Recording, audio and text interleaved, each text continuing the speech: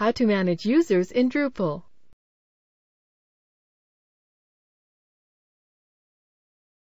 This tutorial assumes you've already logged into Drupal.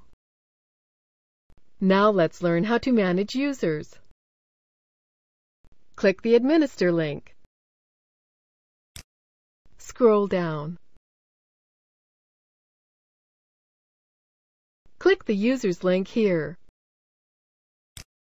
Let's add a user now. Click Add User. Enter a username for the new user here.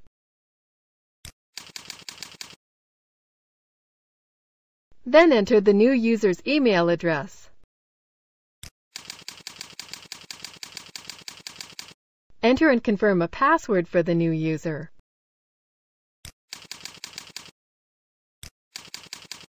When finished, click Create New Account. That's it! A new user account has been created.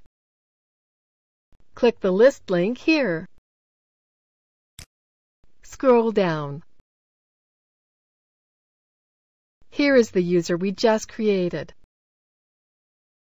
From here we can edit the user, including changing their password. Or we can delete the user, which we're going to do now. Select Delete the selected users. Then click Update.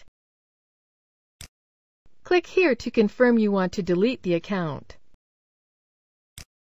The user we created has now been deleted.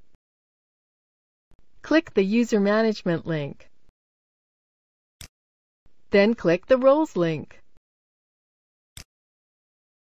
A role is a way of giving selected permissions to a group of users, which you can do from here. Click the User Settings link.